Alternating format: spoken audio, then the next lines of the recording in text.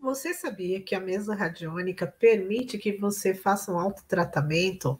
Que você se trate através dela? Sim, você mesmo. Você não sabia disso?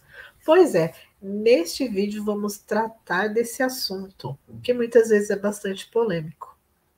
Olá, pessoas! Bem-vindo de volta ao nosso canal, canal da Agnes Nato Terapias. Se você não me conhece, é a primeira vez que está chegando aqui, eu sou Renilde Santos, a idealizadora e a realizadora da Agnes Nato Terapias, um espaço holístico e esotérico e de práticas integrativas aqui da Vila Mariana, em São Paulo.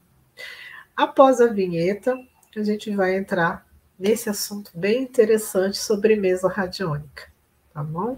Então, se você não é inscrito aqui no canal, se inscreva, acione o sininho para receber todas as nossas novidades.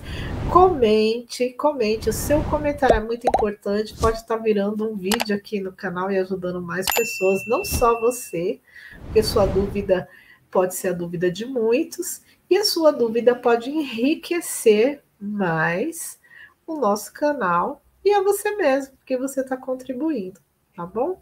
Então, compartilhe também com quem você acha que gosta desse tema. Então, bora lá para a vinheta.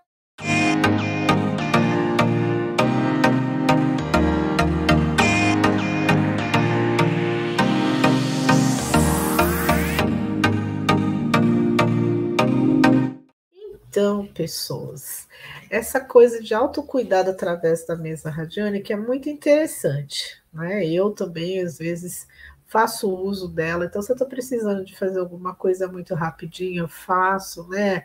Precisa de fazer uma limpeza de ambiente, a gente consegue através da mesa radiônica, precisa de destravar alguma coisa ali, é, negócio, faz um anúncio, né? Eu faço para minha empresa, faço para mim mesma, para a saúde, rapidinho, faço para minha família, para o meu esposo, sempre estou trabalhando, né? Muitas vezes tem pessoas que falam que não é ético, né? Você trabalhar para você mesmo, ou que não é legal, e etc, etc. Então, tem condição de você estar tá trabalhando alguma causa sua. Eu acho até viável, né? Tem condição. Mas é bom ou ruim isso, Renilde? Eu acho que não é bom e nem é ruim. Eu acho que depende. Então, se é bom ou se é ruim, isso acho que depende. Eu, né, quem me conhece, eu sou o tipo de professora que incentiva muito o grupo de troca.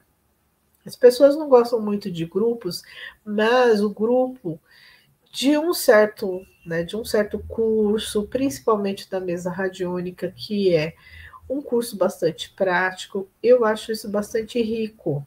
É um, uma coisa bastante importante para a gente trocar não só experiências, como também trocar atendimentos, né? Você fez ali curso com uma pessoa, conheceu ali no grupo, troca, incentivo muito isso. Olha, fulano está precisando de uma mesa radiônica, troca, você também está precisando.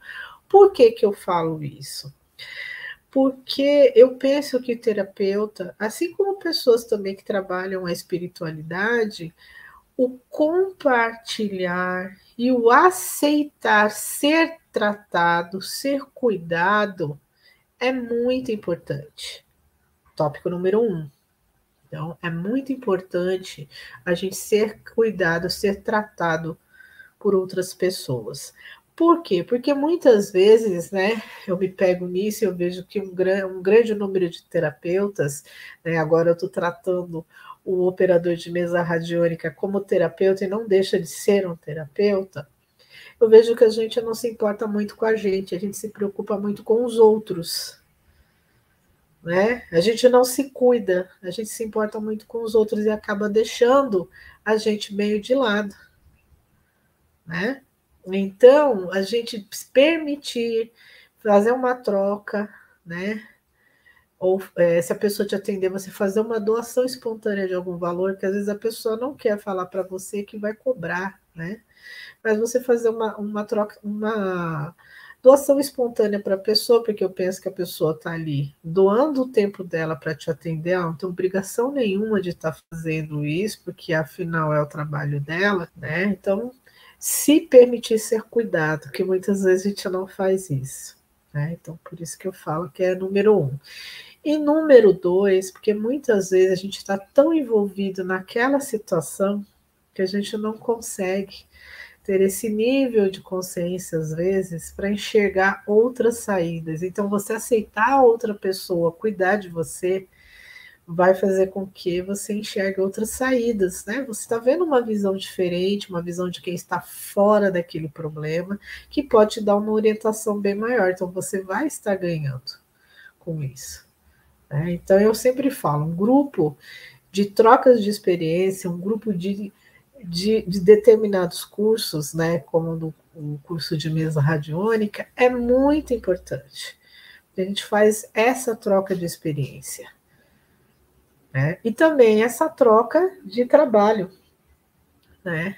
E a gente acaba aprendendo, né? O colega aprende bastante com você, qualquer dúvida chama a professora. No meu caso, né, eu, eu sempre falo, meus cursos são né, suporte vitalício. O curso não tem acesso vitalício, mas o suporte sim é vitalício, seja ele presencial ou online, o suporte é vitalício. Então pode mandar mensagem para mim, dúvidas que eu estou sempre pronta para responder, porque também se você está trabalhando e está tendo dúvidas, isso é ótimo. Isso é sinal que você está trabalhando e está querendo aprender para atender melhor o seu assistido ali. Tá bom? Então, é, a mesa radiônica, né, só fechando, permite com que a gente trabalhe para nós e para as nossas pessoas próximas? Permite. Né? Mas é muito importante a gente também se permitir ser tratado. Não que seja errado você se tratar, mas eu acho que você vai ter um ganho muito maior. Né? Você vai ver a situação de uma outra forma você vai ter mais entendimento sobre aquela situação, então vai ter um ganho de experiência muito maior e vai estar tá crescendo, né? Mentalmente, espiritualmente e até mesmo como terapeuta, tá bom?